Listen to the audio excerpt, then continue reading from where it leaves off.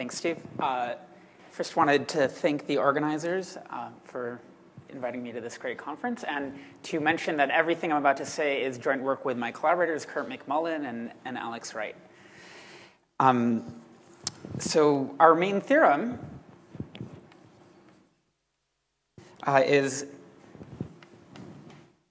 there is a primitive,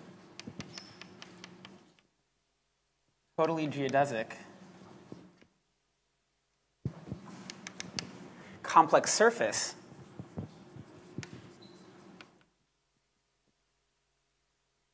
uh, F uh, in M13, the moduli space of genus 1 Riemann surfaces with three marked points. Um, and I'll spend most of my, my talk discussing this theorem. Uh, before uh, I get to describing F, let me make a few remarks about what all of these terms mean. Is my font size all right in the back? Yeah? Okay. Um, uh, so M, M13 MGN is the moduli space of genus G Riemann surfaces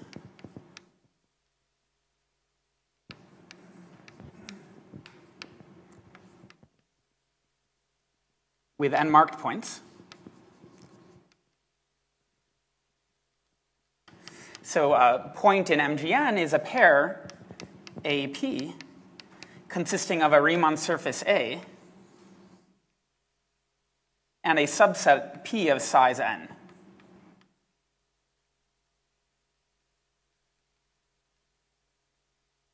Uh, and to talk about geodesics in MGN, we need to have a metric on MGN, and there's this metric dt called the Teichmüller metric. When I say f is totally geodesic, I mean for the Teichmüller metric. Um, every tangent vector to moduli space uh, generates what's called a complex geodesic.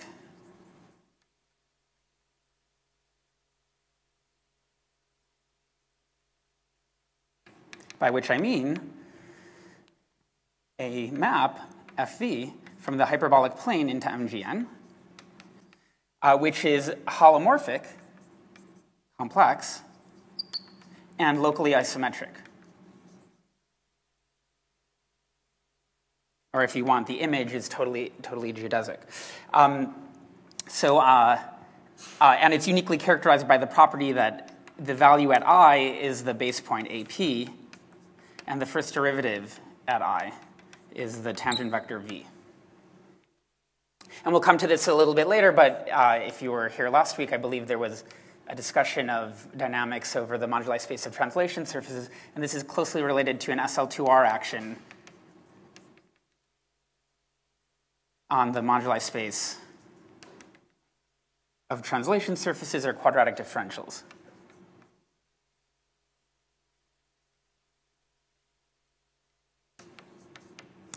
Now, if you start with a random vector uh, in tangent vector to MGN, uh, you will get a complex geodesic which, which, um, which evenly distributes itself in moduli space. Its closure will be all of MGN.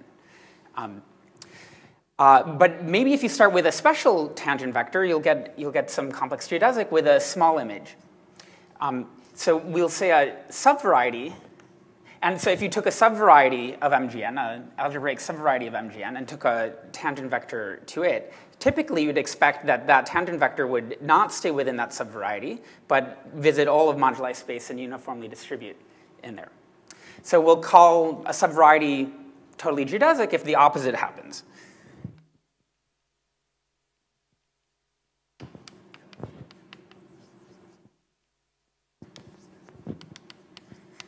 Um, if every tangent vector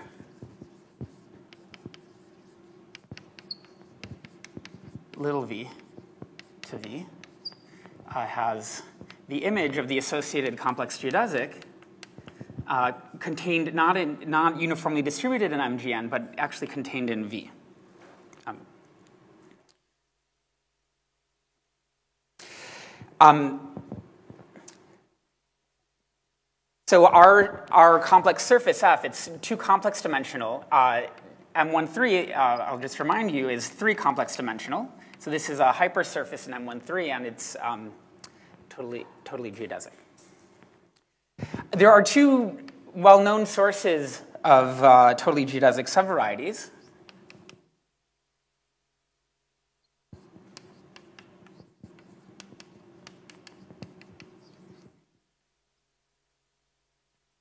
Uh, the first arises from covering constructions.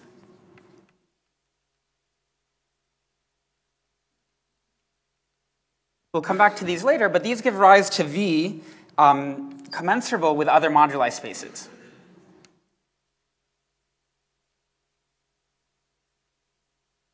MHK for some smaller h and k than G and N. And these are the not primitive examples. Okay.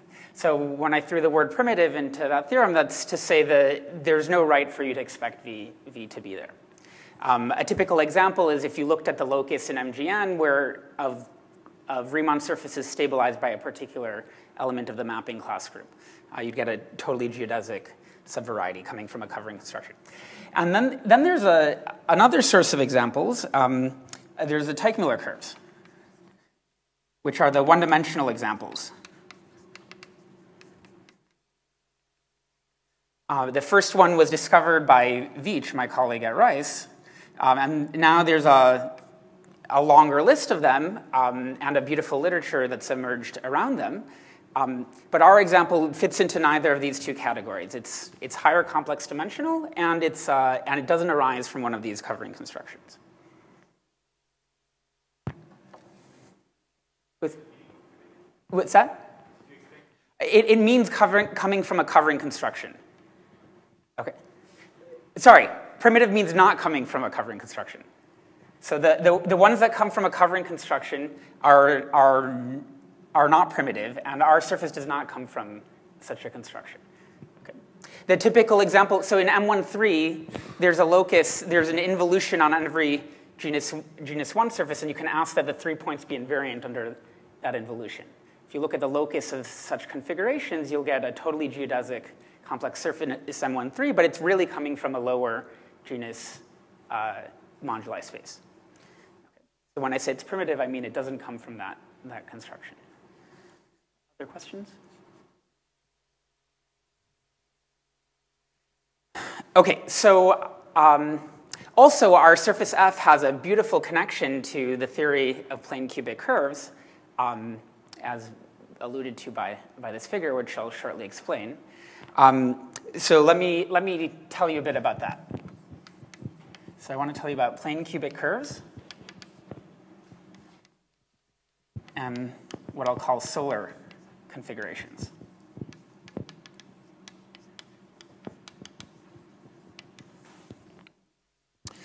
Um, so for any genus 1 Riemann surface without marked points, uh, there is a polynomial f in C adjoint x, y, z, homogeneous of degree 3,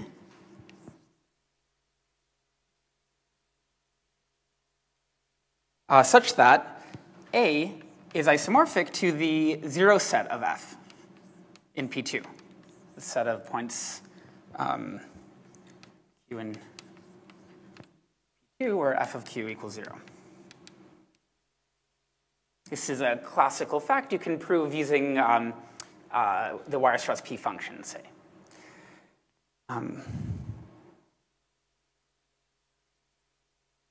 so in, in, in the conferences I usually go to in flat surfaces, there's, there's usually a fight at the beginning of the conference between people who like to draw uh, uh, Riemann surfaces like this and people who like to draw Riemann surfaces like this. So this picture, a la that picture, is the set of real zeros of the polynomial f, and it's related to, to this picture by you take the real points of some complex, complex Riemann surface.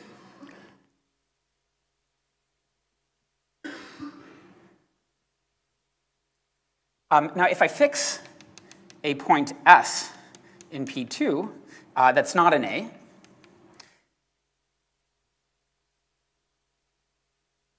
uh, then this gives rise to a degree three map on it. So this is, this is the zeros of f, the real points of the zeros of this thing.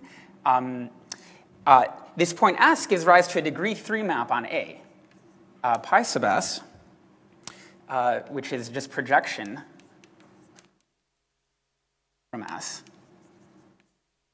And this is, so this is a map from A to um, uh, P1, where this P1 is intrinsically the space of the projectivization of the tangent space to P2 at S, uh, i.e. the lines through S. And this is a, this is a degree three map. So if you take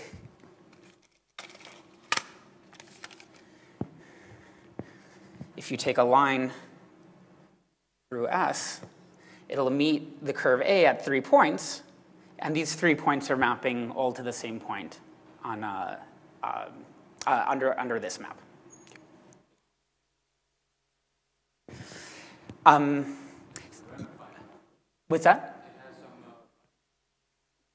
Uh, absolutely. It, it, um, in fact, there, so a typical line meets, meets this curve at three points. But if you start with a special line, it might meet the curve only in two points. Okay? So the critical values, I need, I need a little more space here. So the critical values of pi s uh, are the lines through S and tangent to A.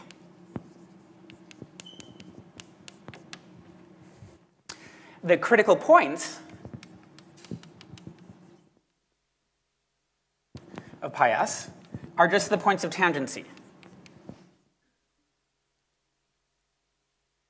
And the critical, um, and then the co-critical points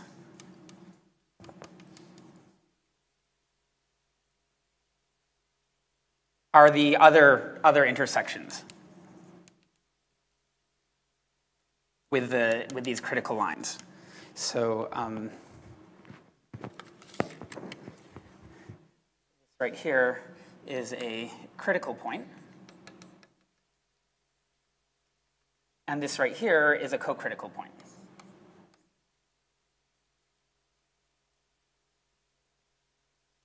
In the celestial analogy, if you think of S as the sun and A as the earth, then these lines correspond to lines where it's, um, where it's dawn, some, some point where the sun is rising on Earth. Um, and these points are codon.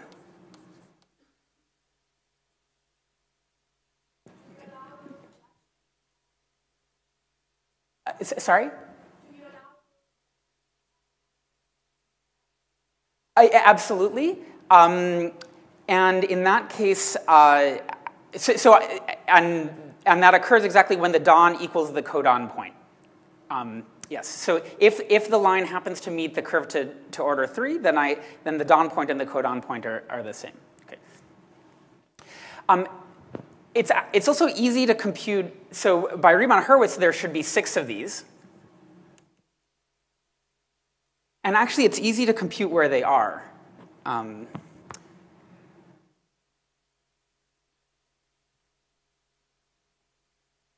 there's, a, there's a conic called the polar of ANS, and it's given by the very simple formula um, is the, you take the standard inner product on on C3, uh, on R3 and complexify it to C3, and you take the, the homogeneous coordinates for S and inner product them with the gradient of F. So this is a, a, vector whose coordinates are degree two polynomials. And when you inner product them with S, you get a linear combination of such. This is a degree two polynomial. Its intersection with this degree three polynomial is six points, and they're the six points of tangency. There's a similar formula for the co-critical points, but it's, a little more complicated.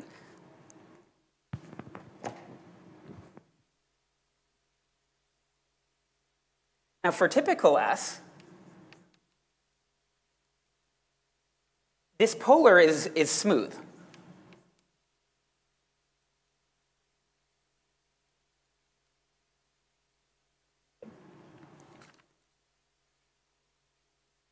But if you're very careful about how you choose S,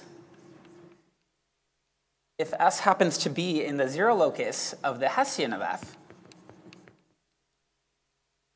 which is just the uh, determinant of the matrix of second order partials, and then the polar is singular And in fact, it's a union of two lines.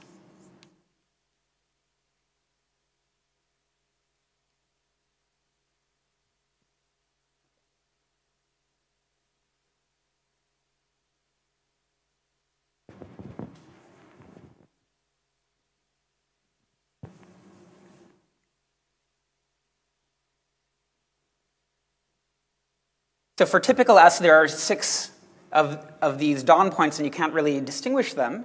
But, um, uh, but if S happened to be on this Hessian curve, then the polar splits into two groups of three, um, corresponding to, so now we can label the points as dawn and dusk. And the, the copoints uh, for, or the codon points associated to L1 form a configuration configuration P uh, that, ha uh, that has the property that AP lies in F. It's a little hard to draw an exact picture on the board of that, so I did an exact picture here. So this is one of these codon configurations. So um, here's my plane cubic A. I chose a pretty random example. Um, and, and here's the Hessian of A. This orange curve is the Hessian. So if I take a sun and place it on the Hessian, then there are three three lines corresponding to critical values of projection from S that happen to be tangent to the, to the curve. And their points of tangency are, because S lied on, the, on this um, Hessian, they actually form a line. That's the, the dawn line. Um, and then the, the, that implies actually that the co-critical points also lie on, the, on a line, and that's the, the codon, locus of codon points.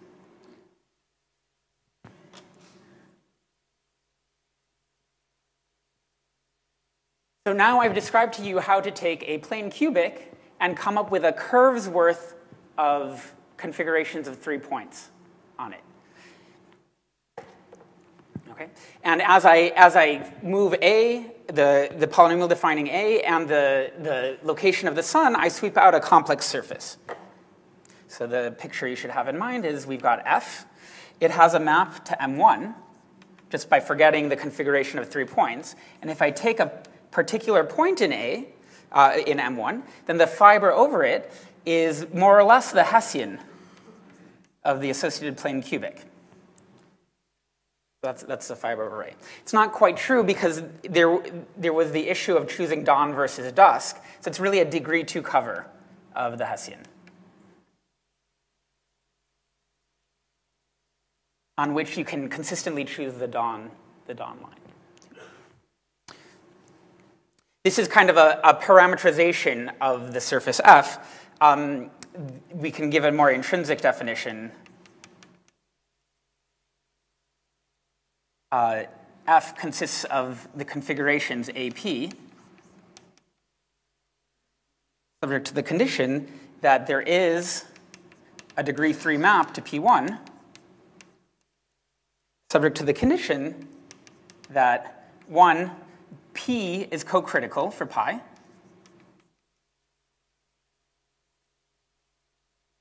And two, P is linearly equivalent to a fiber of pi. linearly equivalent just means that they, the points lie on a line in the plane cubic model. And the translation between these two definitions is you just uh, think of pi sub s when, when you think of pi.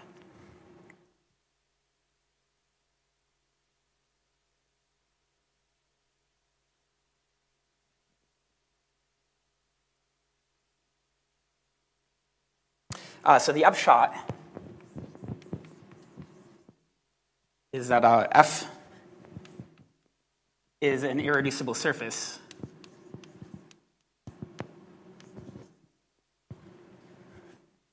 uh, irreducible complex surface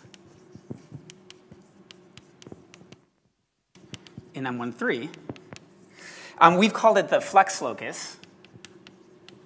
There was actually vigorous debate over what to call it, but we decided the codon locus was a little too cute. Oh, yeah. I'm taking the co-critical points. I take the, I take the green points. Yep. Yep. So, I, so to each sun, I get a collection of green points, and I, as I move the sun, the green points move around. Yeah? Yeah. Yeah, so we're taking the codon, the codon points. Okay. Um, yeah. Sorry, I, I can't hear you.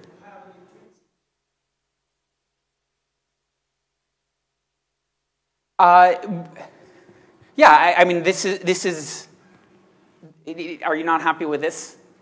Uh, what, what, was that? Oh, well, how, how do you take a point in M13 and come up with the embedding? You look at the linear system associated to P. Okay, so really this is a very natural setting in which to study points in M13. Whenever you have three points on a genus 1 Riemann surface, you get, a, you get an automatic uh, embedding into the plane on which, in which they lie on a line. Okay?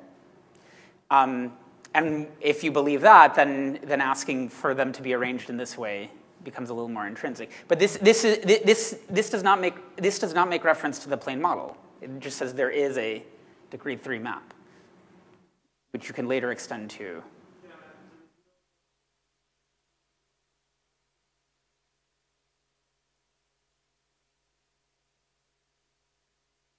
Uh, well, I, don't, I mean, I don't know how to phrase this without, I mean, we, we have several other alternate definitions, um, but none of them are very obvious from this. And I, I do view this as kind of an, this is just referring to the complex geometry of A and how the locus of P sits. there's no extrinsic uh, information here, I, I think. Um, uh, pi also plays a, a, central role, uh, as will, as will come later. Um, when we talk about quadratic differentials. Um, we call it the flex locus because if you think about the zeros of the Hessian, those are, those are the flexes of F um, as points in C3.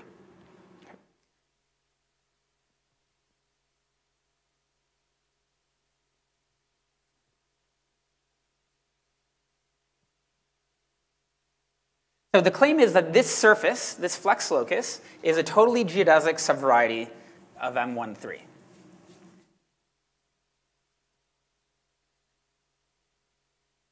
To convince you of that, I need to tell you a bit about geodesics in moduli space, and of course, quadratic differentials.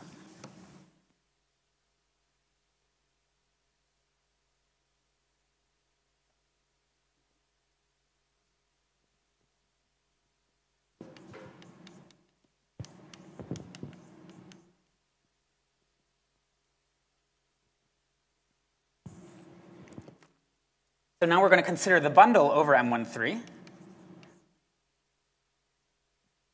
whose fiber over AP is the vector space QAP, consisting of integrable holomorphic or uh, meromorphic quadratic differentials on A um, which are holomorphic in the complement of P.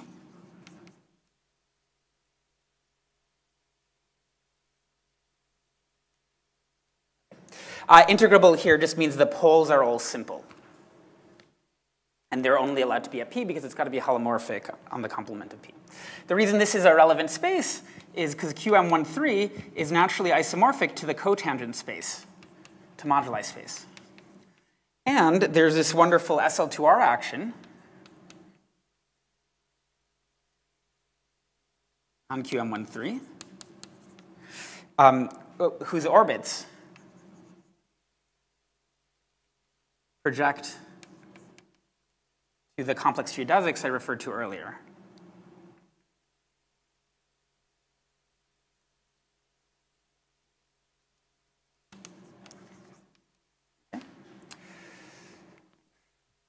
Um, and if you prefer the language of translation surfaces, any particular quadratic differential in here gives AP the structure of a translation surface, or more precisely, a half translation surface. Um, and it can be presented as a union of polygons, and you can just hit all those polygons by an element of SL2R, and that, that gives you the action. Um, okay, so if I'm going to if I'm going to claim to you that F is um, totally geodesic, I should give you a locus of quadratic differentials generating differentials, generating uh, SL2R orbits and, and complex geodesics, which happen to lie in F. So the definition is QF consists of triples A, P, and Q, uh, where A and P happen to lie in F, um, and uh, pi satisfies. Did I erase my definition already? Oh, no, I didn't. Satisfies 1 and 2. Uh, and um, the uh, zeros of the zeros of q form a fiber of pi.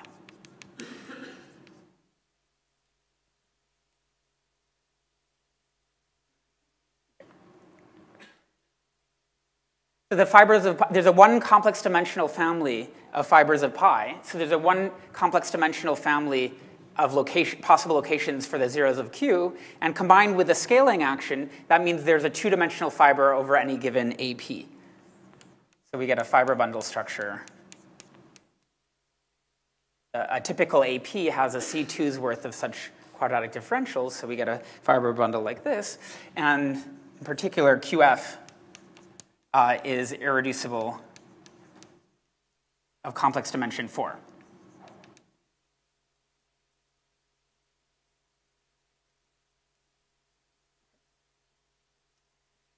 Now, our main theorem follows easily from the theorem uh, QF is SL2R invariant.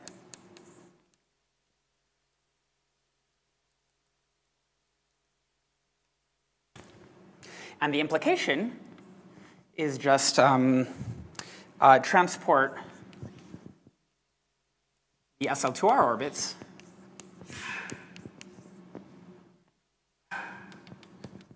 Complex geodesics.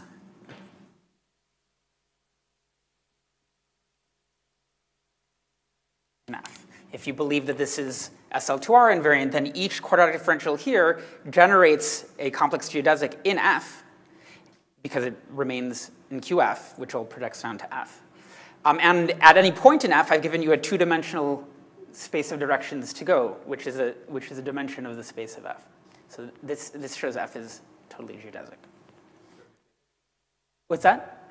Primitivity um, is, is not obvious. Uh, although it's not that hard. So in any M13, the, the primitive, the non-primitive example, there are finitely many prominent non-primitive examples, uh, and you can directly verify that, that this locus of quadratic differentials can arise in that way. Uh, I'll, I'll discuss that um, at the end, of, the end of the proof. So strictly speaking, this will prove it minus the primitivity uh, uh, assumption, but, but, we, but uh, I'll discuss that once we complete the proof that it's um, totally geodesic.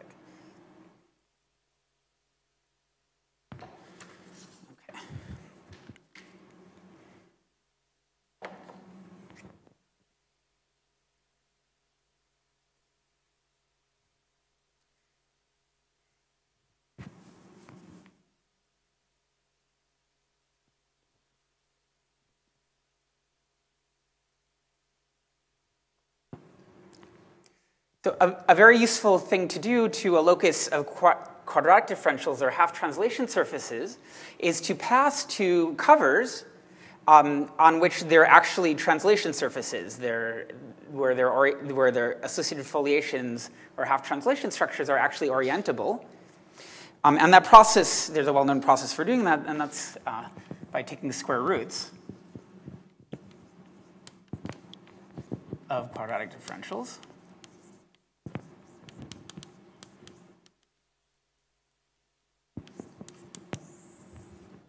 So given any q in QAP, it may or may not be the case that Q is actually the square of a holomorphic one form on A, uh, but whether it is or not, there is a square root.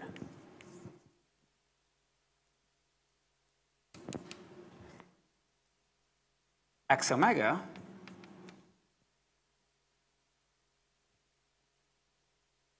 where x is a Riemann surface, probably of higher genus. Um, and omega is a holomorphic one form.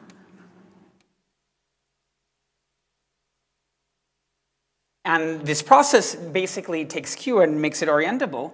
So, um, with, so th this pair has the property that there's a two, two to one map from X to A, uh, and the pullback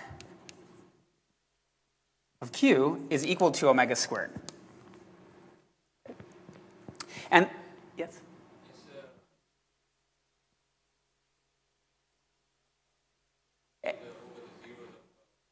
Uh, over the odd order zeros and the poles.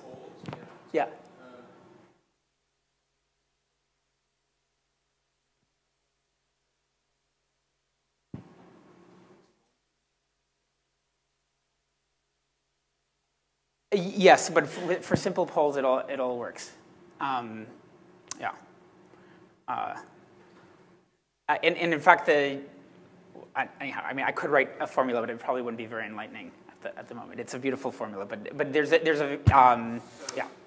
It, it, it, works with simple poles. Um, if you like, the simple pole and the flat structure has cone angle pi. When you branch over, you get cone angle 2 pi, i.e., not, it's no longer a zero. Um, and the key point, the reason this is relevant to this discussion is the square root is SL2R equivariant.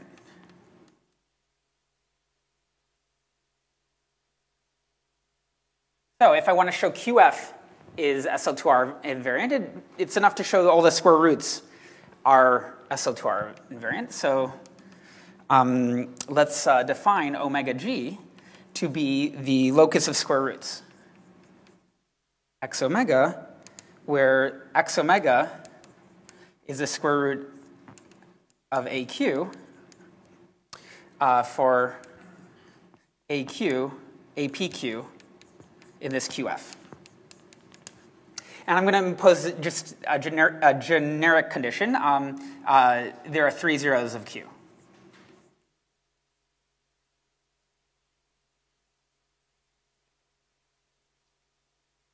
So this this, this Riemann surface is a degree 2 cover of A, branched over, when there are three zeros of Q, there are three points P. It's a total of six branch points. This is a genus 4 Riemann surface. So this is a sublocus of omega M4.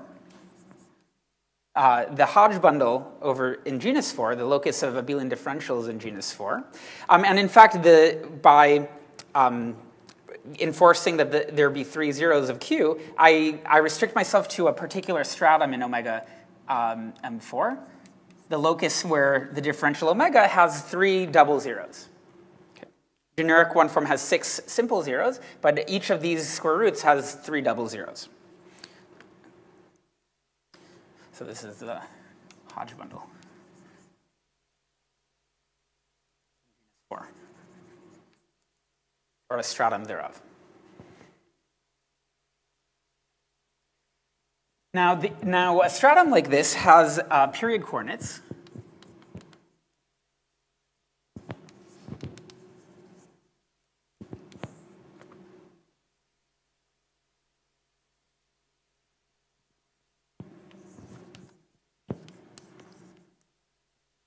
Uh, locally modeled on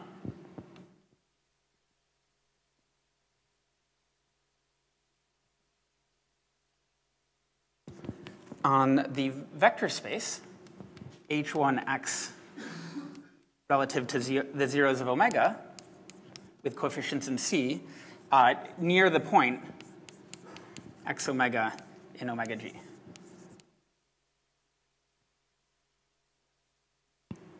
And the map is just, um, uh, if you give me an omega prime that happens to be near omega, I just send it to its cohomology class in this uh, vector space.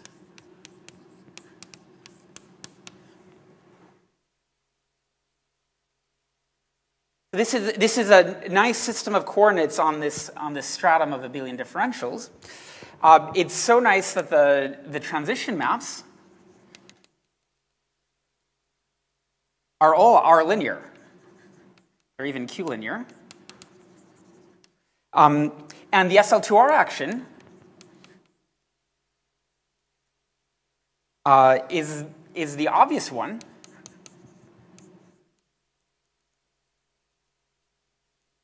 on uh, writing, rewriting H one X zero this cohomology group.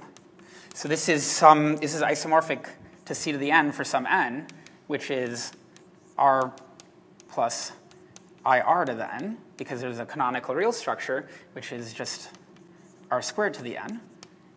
And then an element in SL2R acts on R2 in the obvious way by a linear transformation, and you're just taking the diagonal action of SL2R.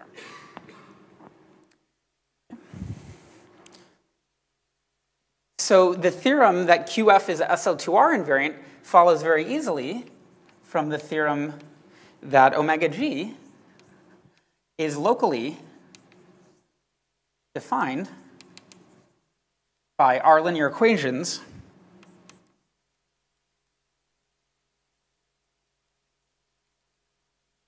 in period coordinates.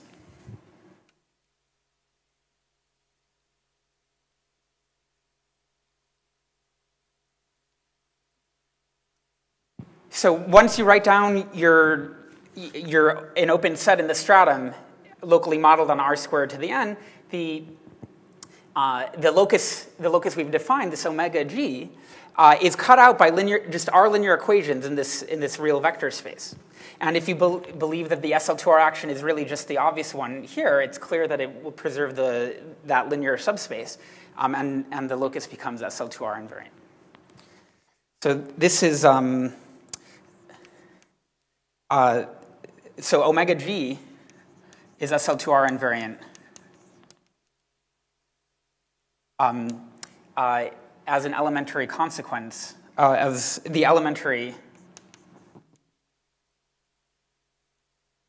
converse to a famous theorem uh, by Eskin Mirzakhani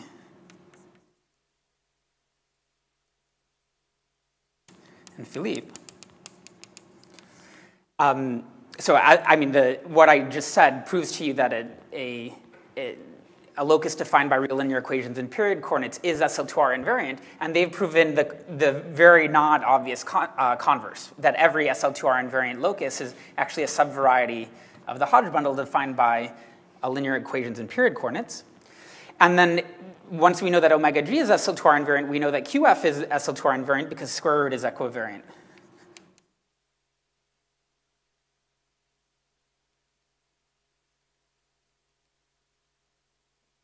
And, and omega g is just obtained from QF by taking all the square roots.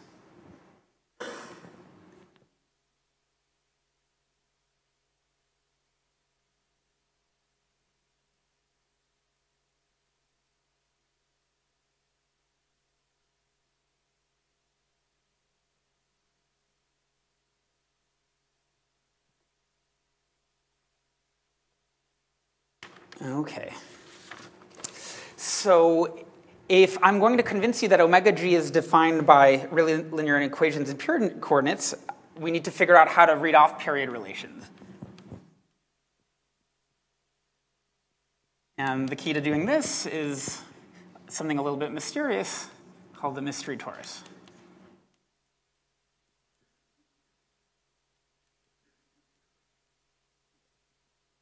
So uh, let, us count dimensions for a second. So QF in QM13. Um, M13 is three-dimensional, so QM13 is six-dimensional. F is two-dimensional, QF was four-dimensional, so this is codimension two.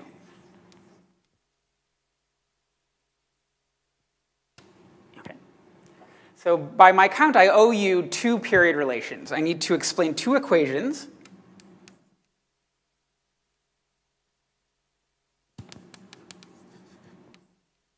on the periods of x omega in omega g, uh, which are not explained independent of by the fact that omega g is contained within this locus of square roots. Two extra conditions. Okay, so let me, let me tell you how to see that. So let's fix an APQ in our QF and a solar configuration. Uh, a is a zero of a plane cubic, a sun, a pi equals pi s, um, solar configuration.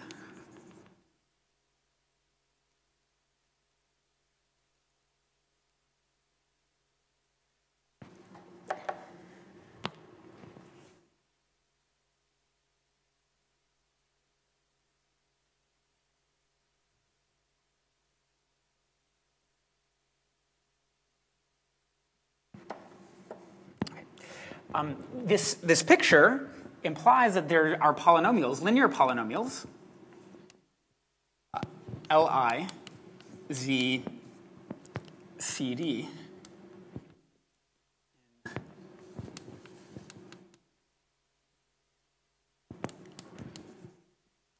Uh, such that, um, well, so P, the, the locus P is, let's call it P1 P3. So uh, the zeros of Li uh, is just the line between Pi and S, those red lines. Um, the intersection of A with the zeros of Z are the zeros of Q.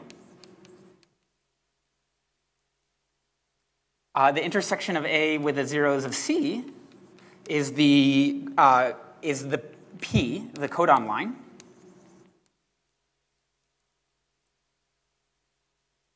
for the poles of Q.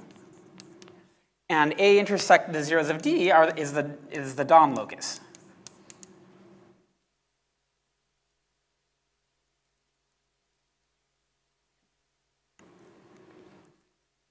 So here's, here's a picture of that. So the only extra information is now we have this line Z recording the zeros the zeros of Q.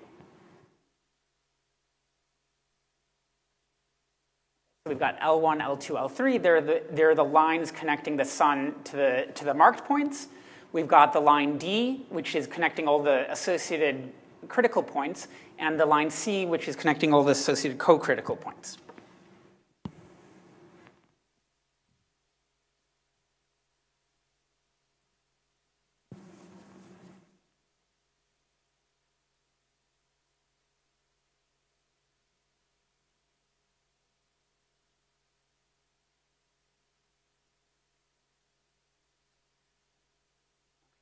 Um, so what, so what picture do we have? We've got our Riemann surface A. It's got a, this degree 3 map, pi to P1, which, remember, is the lines through S.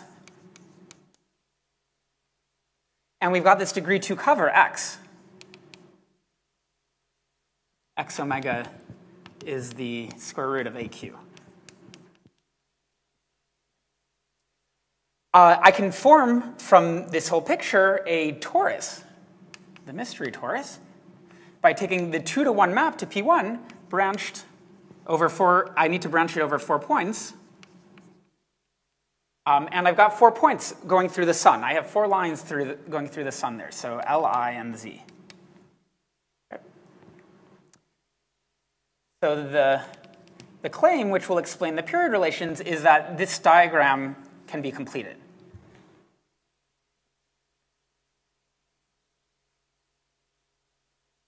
Why do the, that, that was a definition of QF. So the, uh, the, the, that the zeros of Q lie on a fiber of pi. Yeah? Other questions? Okay.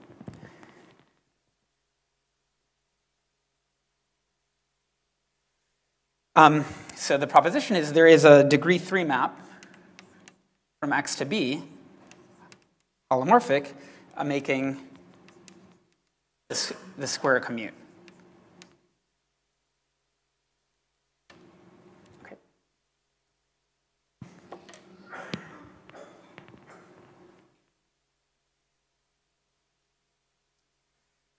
Um, and I hope to convince you that you can sort of see this fact. This is not such a complicated fact. You can kind of see it from this figure. Because if you think where the map x goes to p1 is branched, it's totally branched over the intersections with those four lines, and therefore at least it has a good shot of lifting to B. Uh, but the proof of this proposition is obtained as follows. So first we're going to dehomo dehomogenize P1 uh, using the polynomial C. And to show we get this map to B, what we want to show is that the product L1 times L2 times L3 times Z over C to the 4, to dehomogenize it, has a square root in the field of meromorphic functions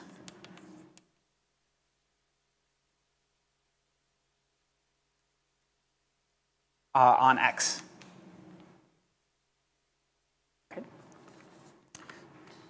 Uh, well, let's look at our quadratic differential. The quadratic differential, um, it's supposed to have zeros at z and poles at c. So it's actually z over c times the square of the holomorphic one form.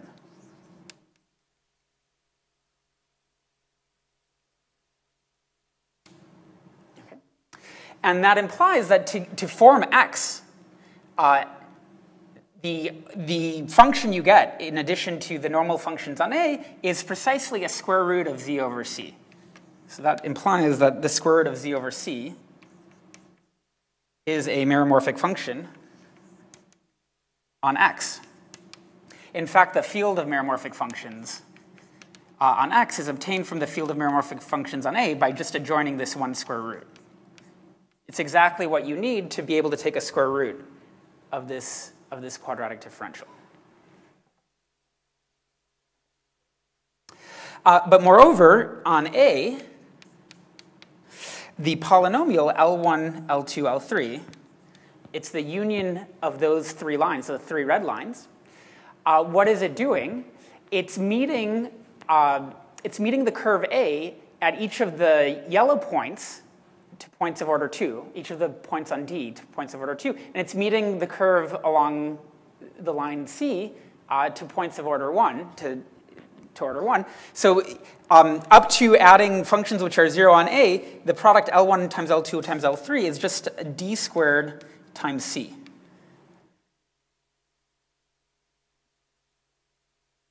Up to adding uh, multiples of the, the homogeneous polynomial little f, um, th this, is, this is true. Um, and now, now what we wanted to show is very easy. So L1, L2, L3, z over c to the 4 is d squared c, z over c to the 4, which is z over c times d squared, times d over c squared. Uh, z over c is a square on x, and d over c squared is a square on x. So this is a square on x. And that, and that shows this function has a square root in the field of meromorphic functions on X. So that, that proves this proposition. Um, and then this implication is pretty easy.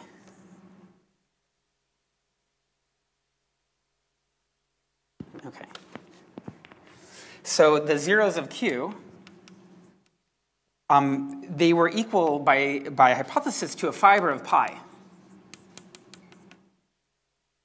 And that implies that zeros of omega uh, equals a fiber of p.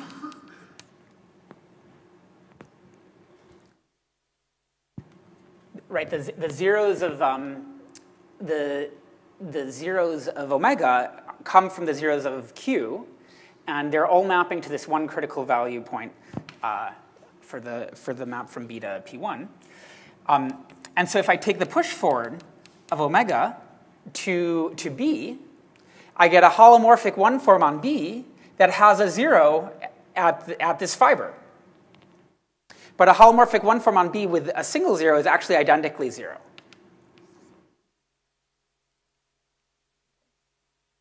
And this is exactly the type of thing that gives you period, linear period relations. So this says that the image of the induced map on homology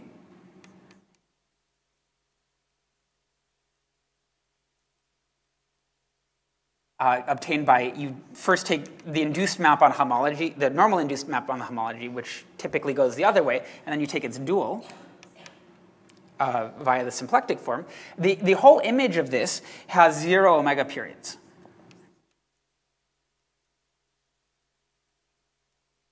if I take a cycle in the image of this map, I get a cycle uh, on x whose period in omega is zero.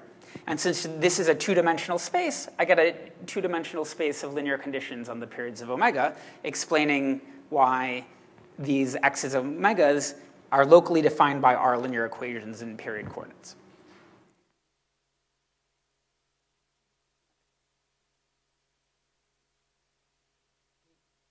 About that? So to, to, uh, to address uh, the question which was raised earlier, so, I, so this, this shows that F is totally geodesic in M13. Let me, let me address primitivity. Um,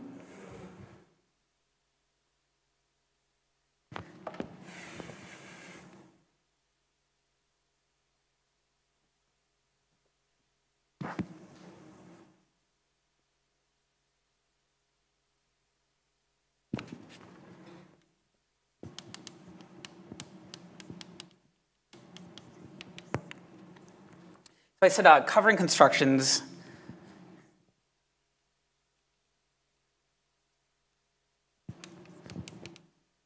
uh, give rise to totally geodesic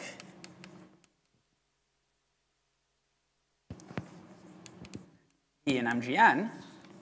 I said before that V is commensurable with, um, uh, with, a, with a different moduli space. In particular, the universal cover, or the universal cover of a normalization,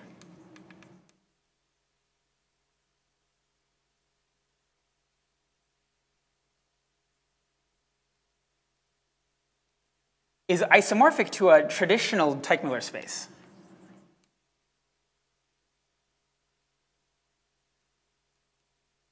So this is uh, biholomorphic, equivalently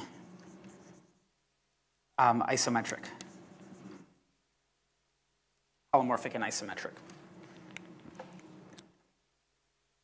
So as I said, you, you can see in, by pretty elementary means that, that this F is not a totally, uh, is not a, uh, is not not primitive, is primitive. Um, uh, by just enumerating all the possibilities for this and checking it's not one of those. But we showed a much stronger version of this. Um, because, because it's totally possible that even though F is primitive, its universal cover is still some traditional Teichmüller space. In fact, the, the universal cover of the normalization of F is not isomorphic to any traditional Teichmüller space.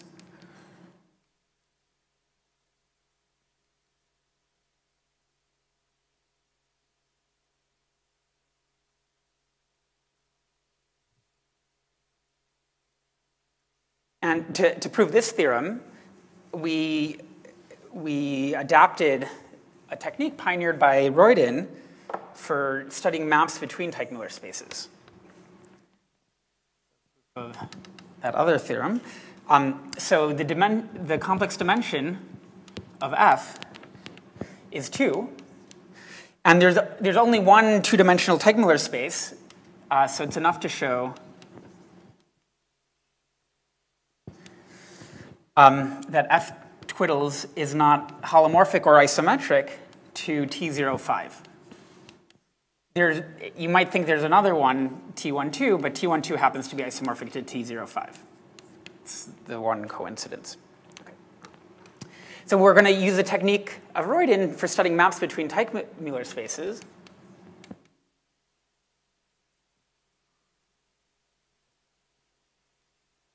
Um, so Royden showed that for every A prime, P prime in T05, uh, the Teichmüller norm, the norm associated to the Finsler metric, the Teichmüller metric, uh, on the cotangent space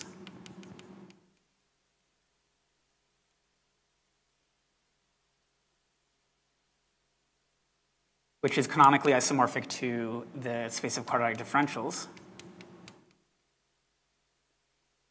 He showed it's uh, C infinity, in fact, analytic.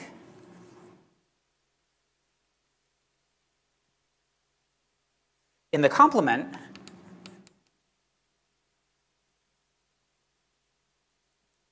of five lines, um, and it's not C2,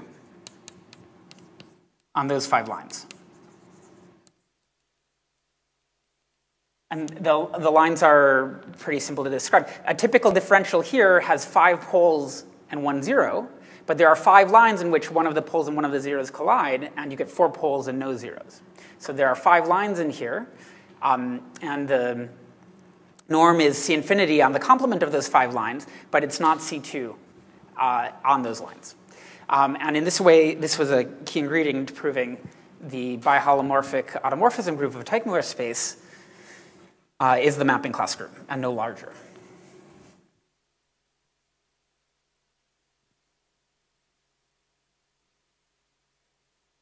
So to, to show that F is not, F twiddles is not isomorphic to any traditional Teichmüller space, uh, we showed that for typical um, AP F twiddles, the, uh, the locus of differentials, the restriction of the Teichmüller norm to the cotangent space to F twiddles,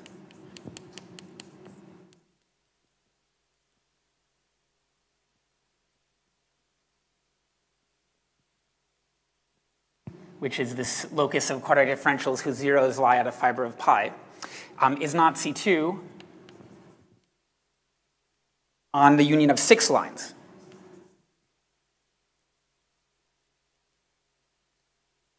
Um, in fact, it's the lines uh, in QAP pi uh, which intersect the strata of differentials minus 1 cubed 1, 2, uh, and the stratum minus 1 squared, 0, 2. Okay. So the, as you move z around, there are six special locations for z where z has fewer um, higher order zeros. And using the same techniques as Royden, you can show that, that the, the Teichmüller norm is not C2 along those lines. And so if you're going to give me a holomorphic isomorphism from f twiddles to T05, it will give me an isometry between these two spaces, but they can't even infinitesimally be isometric because this, their regularity doesn't, doesn't really match up. Okay, that looks like a good place to stop. Thanks.